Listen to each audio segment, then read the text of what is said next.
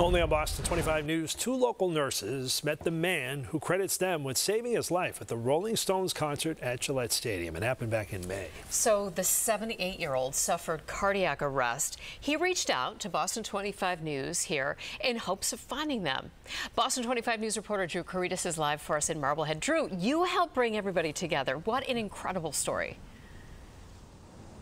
It really is, Krista. This retired school teacher says he wouldn't be here today if it hadn't been for these fellow concert goers who performed CPR in an instant. Those two women came forward after seeing our story, and tonight they came here to Marblehead to meet the man they saved.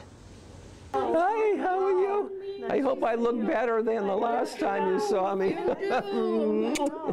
the last time they were together, Tony Palladino was unconscious, slumped over in a seat at Gillette Stadium. And these fellow concert attendees were giving it all they had to bring him back to life. I'm so glad you're feeling so oh, much I'm, better. I'm... More than a month later, they're meeting with a lifelong bond. Days after Palladino turned to Boston 25 News for help finding them.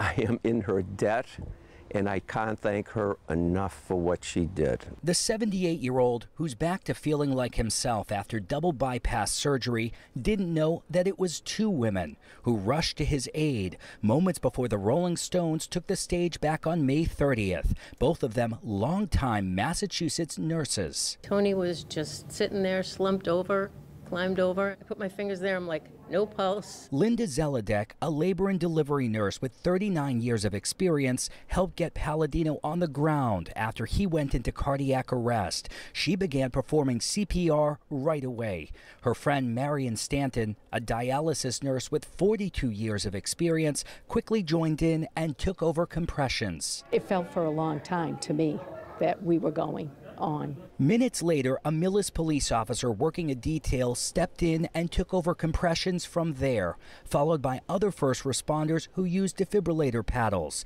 all of them later recognized for their actions. Palladino says he's forever grateful for the team effort and is truly thankful to give credit to the two life saving strangers who were anonymous until now. Thank you, Boston 25, for your help because Otherwise, this would have never happened. It's awesome.